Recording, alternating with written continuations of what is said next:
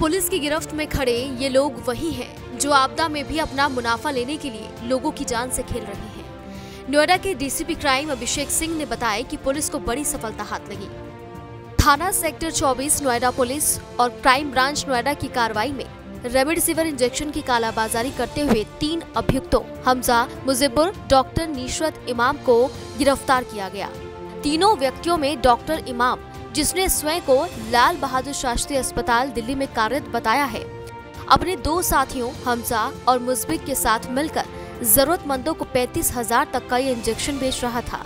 Doctor इमाम द्वारा NCR क्षेत्र में अस्पतालों में सेवाएँ प्रदान की जाती हैं, जिसे वो अस्पतालों से जरूरतमंदों के नाम पर इंजेक्शन प्राप्त कर लेता था और अपने साथियों के साथ मिलकर जरूरतमंदों को 25 से पैंतीस हज़ार में एक रेमडेसिविर बेचता था।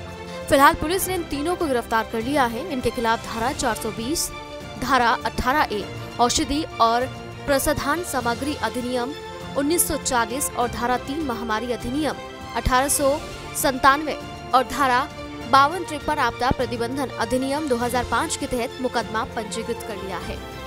माननीय आयुक्त महोदय तथा अन्य उच्चाधिकारियों के निर्देशन में कमिश्नरेट गौतम बुद्ध नगर की पुलिस को रेमडेसिविर इंजेक्शन की कालाबाजारी में एक अहम सफलता मिली उनतीस अप्रैल 2021 को क्राइम ब्रांच और सेक्टर 24 थाने की पुलिस द्वारा संयुक्त रूप से तीन व्यक्तियों को रेमडेसिविर की कालाबाजारी करते हुए तीन वायल्स के साथ गिरफ़्तार किया गया।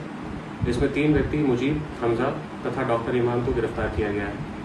मुजीब और हमजा ये इनमें से एक जो है वो गाज़ियाबाद में एक मनी ट्रांसफ़र की दुकान चलाता था और दूसरा जो है वो नोएडा में एक फार्मेसी में काम करता था। और इनकी मुलाकात डॉक्टर इमाम से, जिसके द्वारा लाल बहादुर शास्त्री हॉस्पिटल दिल्ली में कार्य करना बताया गया है।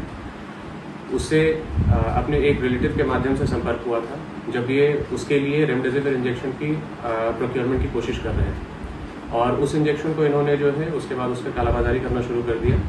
और डॉक्टर इमाम के माध्यम से ये ऐसे गैर ज़रूरतमंद पेशेंट से, जिनकी आवश्यकता के उपरांत जो है, उनके पास इंजेक्शन बच गए हों या उन्हें आवश्यकता ना हो, उनसे ये इंजेक्शन नॉर्मल रेट्स पर खरीदते थे। और उससे जो है करीब पैंतीस हज़ार रुपये में मार्केट में बेचते थे और प्रॉफिट शेयर करते थे। इन तीनों की गिरफ्तारी की गई है और अभी तक इनके द्वारा तकरीबन दस बारह इंजेक्शन जो है बेचना बताया गया है फ्लैट में जिसके विषय में विस्तृत जानकारी की जा रही है।